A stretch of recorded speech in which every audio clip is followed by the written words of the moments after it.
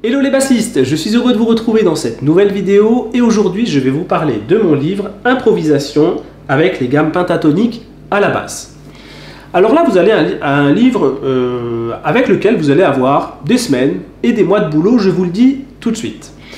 Alors en fait dans ce livre vous trouverez donc toutes les explications par rapport à la pentatonique mineure et majeure également, avec les explications des positions, les schémas des positions, mais pas que, évidemment. Voilà, donc là pour la pentatonique majeure, le principe de relativité entre les gammes majeures mineures.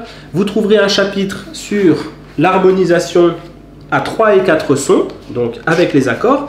Et ensuite, on va en venir à la pratique avec des improvisations sur un seul accord pour commencer, puis deux accords, puis un pro sur trois accords, puis quatre accords.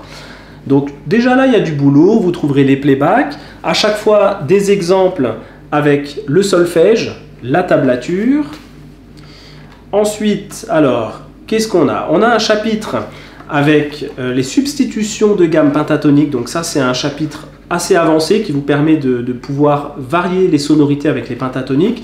On a également un chapitre avec l'improvisation sur une grille avec plusieurs accords, mais une seule pentatonique. Qu'est-ce qu'on a également? On a tout un chapitre euh, les progressions 2-5-1. Voilà, j'avais fait des vidéos euh, sur YouTube euh, à propos du 2-5-1 majeur et mineur. Je vous invite à les regarder, c'est très utile. C'est très important de connaître cette progression d'accords qui est très classique. Et ensuite, à la fin, vous trouverez voilà, le schéma, enfin tous les schémas, cette fois-ci, des pentatoniques majeurs et mineurs dans toutes les tonalités.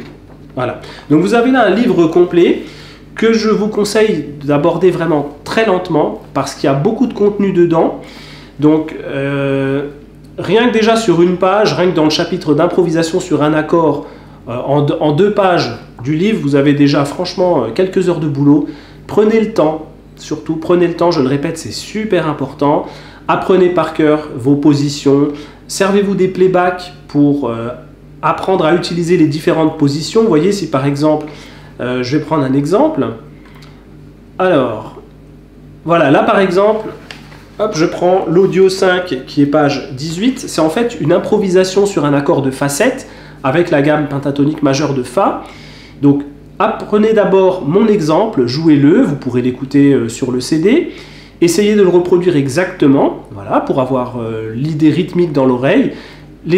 en, plus, cette méthode-là, sert d'inspiration pour improviser. Inspiration en termes de, différentes tonalités, car j'essaye toujours de varier les tonalités pour que ce soit le, bah, le plus varié possible, tout simplement. Ensuite, euh, diversité des rythmes, des doigtés, donc c'est vraiment une bonne source d'inspiration. Mais vous, ne vous contentez pas de simplement jouer ce qui est écrit. Là, par exemple, vous avez travaillé mon exemple, c'est très très bien, vous le jouez sur le playback, c'est très bien, mais maintenant, mettez le playback et amusez-vous avec, avec donc la gamme pentatonique majeure de Fa, et essayez euh, d'incorporer le travail sur les cinq positions sur l'ensemble du manche. Donc vous voyez que rien que là, sur cet exercice-là, vous avez déjà vraiment quelques heures de boulot à faire, donc imaginez avec tout l'ensemble de ce livre. Donc voilà, ce livre est dispo au format papier, PDF, iPad, Android, sur mon site bassbruno.com. Pour ceux qui ont déjà le livre, je vous invite à me faire part de vos commentaires en dessous de la vidéo et je vous donne rendez-vous très bientôt dans une nouvelle vidéo. Salut